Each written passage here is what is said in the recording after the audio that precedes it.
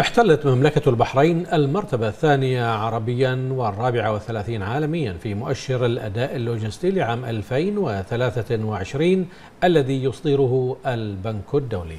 مؤشر الأداء اللوجستي الذي تصدرته المملكة هو مقياس لقدرة الدول على نقل البضائع عبر الحدود بسرعة وموثوقية.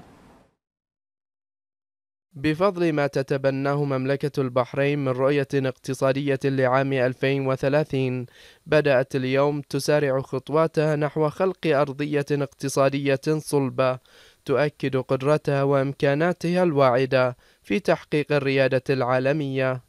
وها هي اليوم تحتل البحرين المرتبة الثانية عربيا والرابعة والثلاثين عالميا في مؤشر الأداء اللوجستي لعام 2023 الذي يصدره البنك الدولي كل عامين لقياس قدرة البلدان على نقل البضائع عبر الحدود بسرعة وموثوقية.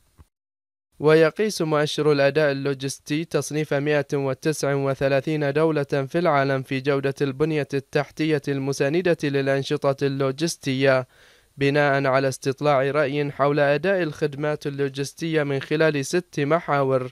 تتضمن كفاءة إدارة الجمارك والحدود في سرعة وبساطة التخليص ونوعية التجارة والبنية التحتية للنقل وسهولة ترتيب الشحنات بأسعار تنافسية.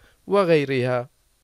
مملكة البحرين توفر بنية تحتية تلبي احتياجات العمليات اللوجستية المتزايدة في واحدة من أفضل المواقع بالشرق الأوسط بمساحة تصل إلى كيلومتر مربع. وتتمتع منطقة البحرين اللوجستية بانخفاض تكاليف المشروع والبناء وسرعة الوصول إلى الأسواق الخليجية.